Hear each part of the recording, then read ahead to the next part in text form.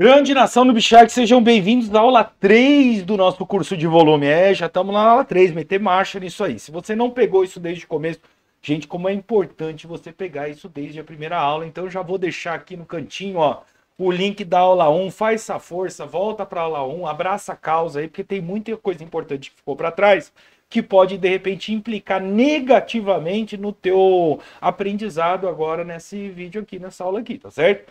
Se você quiser mesmo assim agarrar, não tem problema, tá? Vai ficar o link no final, tá? Essa daqui também é mais uma aula gratuita. A partir da quarta aula vai ficar apenas para membros. É uma política que eu adotei aqui no canal recentemente, porque sinto falta assim das pessoas darem um apoio maior, então eu então vou apoiar mais quem me apoia, ok? Se você ficar com vontade de virar membro, tem uma dica. Tá? A hora que você clicar no join lá, né? Virar membro, vai aparecer um vídeo. Assista aquele vídeo antes de você virar membro para você saber exatamente como tirar o proveito máximo de tudo que eu ofereço aqui, tá ok? Pessoal, mais uma vez, esse aqui é o meu gráfico de análise do Bitcoin. Quem assiste as lives todo dia às 5 e meia da manhã, com exceção da sexta, que é um pouquinho mais tarde, porque né, tem as particularidades da noite de quinta, né, sabe que eu uso volume pra caramba. Então agora você sabe por que, que eu uso né, esse gráfico do jeito que tá. E hoje a gente vai pegar talvez a ferramenta mais básica de todas, mas que pode assim potencializar demais o seu dia a dia, tá? Vou voltar aqui para o nosso gráfico de trabalho. É o seguinte, gente, assim, eu vou trabalhar com um gráfico pronto, tá? A realidade, ela é bastante diferente disso aqui, tá certo? Mas eu vou mostrar dois momentos que eu separei aqui no gráfico que eu acho que vai dar para dar uma boa luz para vocês. Você tem que lembrar, gente, que não é 100%, nada é 100%. E por não ser 100%, você sempre tem que encontrar uma região de stop loss, tá? Falo muito sobre isso aqui no canal, tem até vídeo específico sobre isso aqui, tá ok? Mas eu queria pegar dois momentos aqui, dois momentos do gráfico aqui, ó, nessa região aqui, gráfico de uma hora, né? E quero dar um bizu aqui com vocês. Bizu é o seguinte, tá? Você pode, eventualmente, olha só, eu vou até fazer isso aqui, ó. Você estava aqui, ó, você estava analisando esse gráfico, estava acreditando na alta, na alta infinita, né? Você pode ver o seguinte, o volume, gente, ele costuma acompanhar a tendência. O volume, ele diz, sabe, ele tenta mostrar para você se o que você está vendo é algo verdadeiro ou não. Se a gente pegar essa subida do Bitcoin aqui, você pode ver que na base a gente teve uma basezinha de volume bem furreca, né? Aqui, ó, uma basezinha de volume bem furreca. A hora que o preço subiu, você pode ver que houve um aumento de volume. A hora que o preço caiu, houve uma redução de volume. Apesar do preço subindo, né, pelo menos até aqui, você vê que o volume não se mexeu muito. Mas a próxima vela, né, colocou um volume legal. E o volume daqui para essa próxima vela, né, o preço percorreu esse período e o volume subiu. Ah, mas tem uma vela vermelha, tem uma vela vermelha, gente. Olha só, tem uma vela vermelha aí, tá? Mas e aí? Depois dessa vela vermelha aconteceu o quê? O preço continuou colocando para cima e ó, daqui para cá a gente viu um novo aumento de volume. Ah, Augusto, mas aqui tem um monte de vela vermelha. Tem, olha, olha só, as velas vermelhas caindo, né? Derrubando o preço e o volume diminuindo. Enquanto o volume total, ele continua subindo aqui, ó. E acompanhando o volume, vem o preço. Olha que belezinha, o preço subindo. Aí você fala, pô, Augusto, eu preciso pegar esse trade, eu preciso pegar esse trade, eu preciso pegar esse trade. Já sei. Vou desenhar uma LTB, né? Vou desenhar uma linha de tendência de baixa e eu vou operar o rompimento dessa linha de tendência de baixa. Tá certo? Então aqui eu quero te mostrar algumas diferenças, beleza? Deixa eu andar aqui devagarzinho. Vamos lá. Opa, preço rompeu, você pegou esse rompimento e falou, Augusto, tranquilo, tranquilo, tranquilo. Eu vou entrar nesse rompimento aqui, o stop vai ficar aqui abaixo desse fundo, belezinha? E o meu alvo vai ser pelo menos o topo anterior, pô, garantido, Augusto. Só que, ó, quando você olha aqui embaixo, você pode perceber que, embora houve sim um aumento de volume, o volume não está vindo nesses patamares mais gostosos, assim, numa tendência de alta de volume. Esse trade pode dar muito certo, não tem problema algum, ele pode dar certo, né? Nesse caso eu separei ele bem especial porque ele não deu muito certo, tá? Ele não deu muito certo. Aí você vai falar assim, pô, Augusto, mas aqui, ó, aqui, ó, se você olhar aqui, ó, também houve uma, um rompimento de uma linha de tendência com um volume baixo no rompimento. E aqui deu certo. Pois é. Isso é para mostrar para você que não é 100%. Então, eu não tenho problema nenhum na minha vida. Eu não tenho problema nenhum na minha vida em perder esse trade. Tá? Mas, por exemplo, abraçar a causa desse trade aqui, ó. Onde você teve aqui um rompimento com volume, onde eu poderia fazer uma análise aí, sei lá, você pode, pode usar o Smart Money, pode usar é, suporte e resistência, pode usar o que for aí, para pegar esse trade. Então eu não tenho problemas em perder esse trade. Porque aqui, se você olhar nessa subida, ó, aqui talvez eu teria perdido essa subida numa boa. Eu teria embalado nesse rompimento aqui, ó, aqui também existe um outro rompimento. Tá? Eu teria embalado nesse rompimento nessa vela aqui, fácil. Eu teria embalado fácil nesse rompimento. E nesse rompimento aqui, ó, você teria embalado fácil nesse rompimento. Talvez não na primeira, mas aqui na segunda vela daria para entrar numa boa. E esse eu não teria pego. Sem problema algum. Tá certo? Esse aqui, eu não teria pego esse justamente para evitar esse aqui. Você sacou ou não? Agora, se você esperar o preço andar mais um pouquinho, beleza? Se você esperar o preço andar mais um pouquinho, Aí você vai ver que parece que ele está plotando aqui uma outra linha de tendência de baixa, não parece? É? Então aí não tem problema, você vai acompanhar de novo, talvez aqui um pouco para cima, um pouco para baixo, blá blá blá, não sei o que lá. Deixa o preço andar e a gente vai olhar o próximo rompimento. Ó, ó tocou aí mais uma vez, né? Aí eu vejo isso aqui, gente, é um outro trade que eu vou querer entrar, ó. Talvez não nessa primeira vela do rompimento, talvez na próxima vela. Legal não? Então, mais uma vez, eu repito, eu não tenho problema de perder este trade se eu conseguir evitar este. Porque este, esse, esse, esse e esse eu vou pegar. Você sacou? O problema disso, gente, e ó, vamos lá. Eu não vou explicar a técnica de entrada. Então aqui tem curso gratuito de Smart Money, tem playlist de vários indicadores, tem Itimoco, tem é, é, price action, tem suporte e resistência, tem vários setups aqui no canal. Então não estou falando que é para você operar com LTA, LTB. Você tem que pegar o teu setup, que aqui eu peguei como exemplo LTA, LTB, e colocar o volume para calibrar isso aí. Inclusive no dia a dia do canal, várias vezes a gente comenta, fala assim, pô, veio com volume, veio. E às vezes acontece de, olha, veio com volume e bateu stop e bateu stop, bateu stop gostoso. Pois é, aquele ali estava na ponta. Porque do mesmo jeito que este deu certo, vai acontecer um dia ou outro onde este aqui vai dar errado. Então você tem que estar tá ciente que não importa o trade, você tem que ter o teu stop loss ali bonitinho, tá certo? Deixa eu apagar tudo isso aqui para a gente poder fazer mais uma rabisqueira. Porque o que me dá uma preguiça enorme, gente, é o seguinte. Cara, a preguiça que eu tenho é ficar olhando isso aqui, cara. Porque se você pensar bem, cada ativo vai ter o seu volume. Pode ser Forex, pode ser cripto, pode ser Ibov, pode ser ouro, pode ser prata, pode ser o que for, tá? O valor do volume em si, ele é irrelevante para a gente, se a gente não tiver como comparar. O que é importante para a gente de verdade é o volume relativo, tá? Só você olhar nesse movimento de alta aqui, ó. Essa daqui foi a minha vela vermelha. Essa daqui foi a minha vela vermelha. Todas as outras que seguem, ó. Vela verde mais alta que a maioria, vela verde mais alta que a maioria, velas verdes mais altas que a maioria, vela verde mais alta que a maioria, eis que me aparece uma vela vermelha aqui, me aparece outra vela vermelha aqui, e a partir desse momento, que aqui foi um com pedala Robinho, mas a partir desse momento aqui, você vê que as velas vermelhas começam a dominar e isso, obviamente, acaba dando uma probabilidade maior que esta sequência de queda perdure por mais um tempo. Só que qual que é a minha preguiça? É olhar essas porcaria aqui embaixo, brother. Olhar essas porcaria aqui embaixo que ninguém merece. Você quer dar um zoom out no gráfico? Oh, fica complicado. Você tem que ficar toda hora, ó, é, não é, é, não é, é, não é.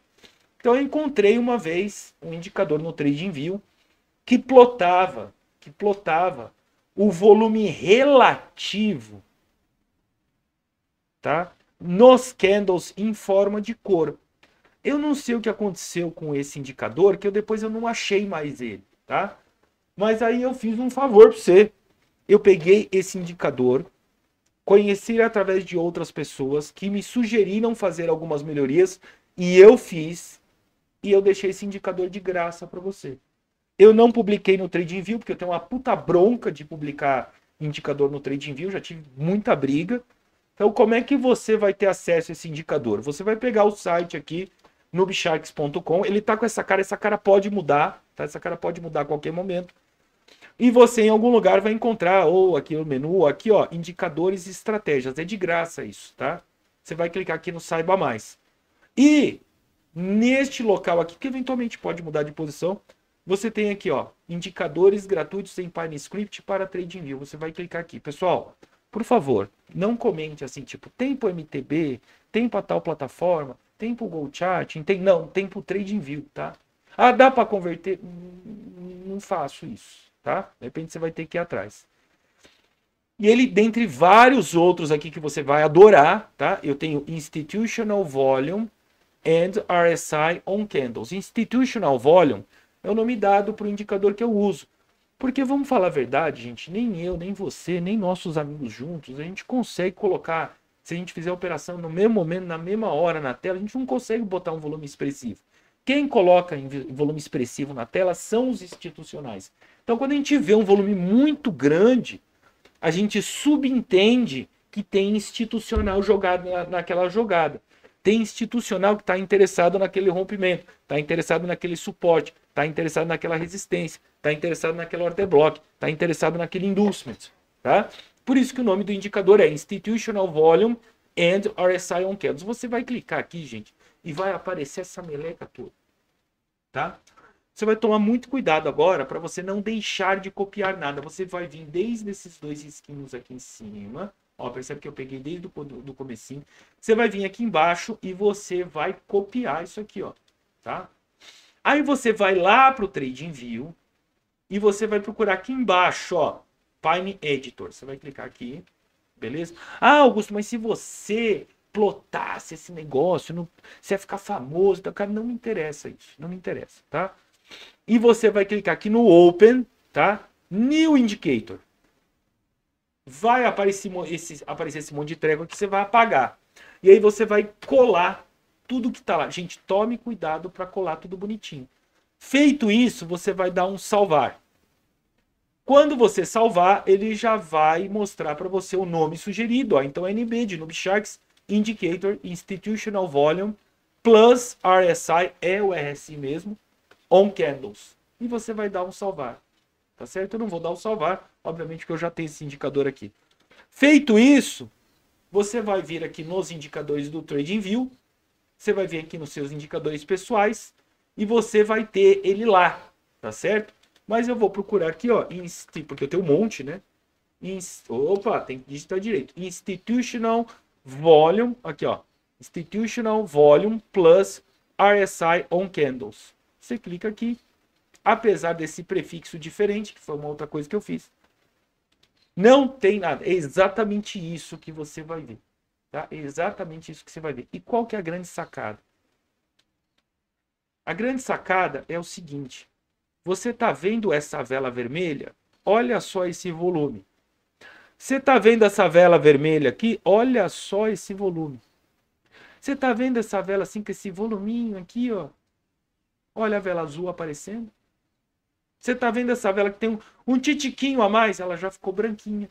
Essa aqui, ó, que tem um pouquinho a mais, não é tão titiquinho assim, ela ficou amarela. Em resumo da ópera, grava isso aí. Você pode alterar as cores depois. Você pode fazer do jeito que você quiser. É só você vir aqui no indicador, clicar em configurações, você vem em estilo, tá certo? A cor zero é a cor que vai denunciar a participação massiva de institucionais, ou baleias, ou big boys, ou market makers, chame quem você quiser, o velho da lancha, tá? Operando no mercado. Então as velas vermelhas, elas são de altíssima relevância. Um rompimento, uma mitigação, um cruzamento com a velinha pintada de vermelho, fica de olho porque tem institucional na jogada interessado naquilo. Color One, né? É um nível abaixo. Fala assim, olha, tem institucional, tem gente grande, tá certo? Não é todo mundo da turma, mas já tem bastante gente que já chegou ali, tá? Que é a vela laranja. A vela amarela é um misto, olha, tem eu, tem você, tem um cara ali, tem outra baleia lá, tem outro market maker lá. Não é exatamente aquela coisa que salta aos olhos. Agora, a velhinha branca, né? Aí tem eu, tem você, tem nossos amigos aí e tal. E a velhinha, a velhinha da cor azul aqui é o pessoal que tá começando aí. Né? O pessoal vai, vai, você quer rompeu, rompeu, rompeu. Oh, o gráfico não respeita. Ai, o mercado é manipulado. Ai, eu vi que rompeu, mas não foi. É a turma da velhinha aqui azul. Tá certo? Obviamente você pode trocar essas cores. Aqui nos inputs, gente, tem os tem algumas coisas que eu vou te explicar. Você muda se você quiser, mas eu trabalho assim. Existe uma média de 55 períodos. Por que 55? Se eu tivesse que te falar, você, ia ter que me matar. Basicamente, eu recebi esse conhecimento, eu estou passando esse conhecimento para frente de graça.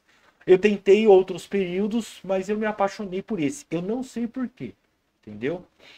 E você tem o volume comparado com essa média de 55, com índices de 4, 2,5, 1 e menos 0,5. Que é basicamente o seguinte: extra high, volume das baleias, high volume, as baleias já estão na área, medium volume, é eu, você, uma baleia e tal, normal volume é o varejo, né? E depois tem a vela azul, que é o varejinho, varejinho, varejinho, varejinho. Tá certo? Que é abaixo disso aí. Beleza, não?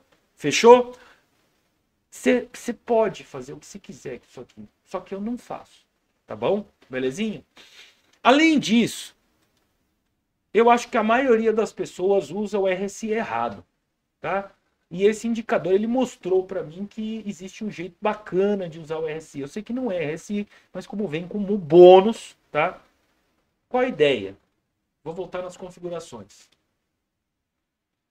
Nível de sobre compra 70. Nível de sobrevenda, 30. Isso você pode mudar, tá? O limite entre o bull e o bear é o 50, né? Que é o meio do caminho, tá?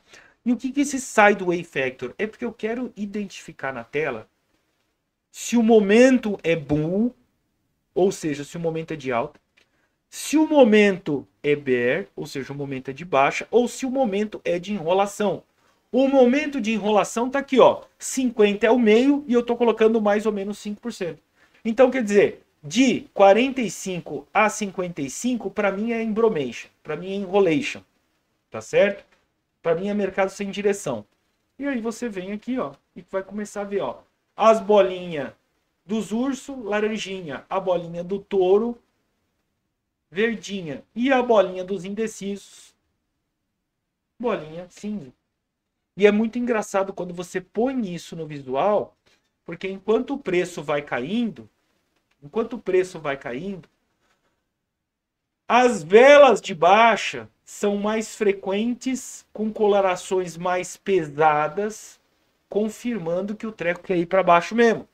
Ah, Augusto, mas aqui tem uma vela amarela de subida. Tudo bem, mas tinha duas de queda. Augusto, mas aqui tem uma vela amarela de subida, mas tem essa de queda, tem essa de queda e veio uma de queda em seguida e mais uma de queda aqui. Então você percebe que fica mais fácil você olhar essas cores para identificar a descida e por consequência, ó aqui, ó, aqui tá bem claro ainda, ó. Olha só, amarelo, laranja, amarelo, amarelo, vermelho. Ó, uma amarelinha de subida aqui, amarelo, uma laranja de segurada não deu, amarelo amarelo, amarelo, amarelo, vermelho. Tá certo? E quando você olha aqui o movimento contrário, né? Você começa a perceber que as velas amarelas, nesse caso, são para cima. As velas vermelhas são branquinhas ou azuis, ó. Amarela subindo, branquinho caindo, amarela subindo, verde, eh, azulzinho parado. Tem uma amarelinha aqui, ó, mas já veio o engolfo em seguida, mais uma. Laranja de subida. Tá certo? E agora a gente entrou numa zona que é muito engraçada é a tal da lateralização, né? Tal da lateralização aqui. Você vê vela para tudo quanto é lado, né? Você vê vela para tudo quanto é lado aqui. Sacou não? Vela vermelha para cima, vela verde para baixo, ou perdão, vela laranja para baixo, vela laranja para cima, vela amarela para baixo. É um treco que tá meio sem direção aí, tá certo? Belezinha, não? Agora, o que é legal é você olhar, gente. É você olhar o comportamento do RSI aqui em cima quando o preço cai. Quanta gente compra essas caídas, sendo que a tendência do RSI é uma tendência de queda. Em contrapartida, quantas gente, quantas pessoas vendem o tal do topo, né? Sendo que a, o RSI tem uma tendência de alta, né? Isso aqui desmascara aquela prerrogativa de comprar com RSI sobrevendido, vender com RSI sobrecomprado. Ah, mas o cara vai falar que tem que ter um monte, um milhão de indicadores juntos, tá? Tá bom, para mim só isso aqui é suficiente. Só isso aqui é suficiente. Se eventualmente você não quiser fazer com que isso apareça, é só você vir aqui no estilo, tirar as regiões de RSI, que vai sair aquele monte de bolinha. E é por isso, gente, que o meu gráfico ele tem os candles pintados. Eu não consigo mais viver sem isso.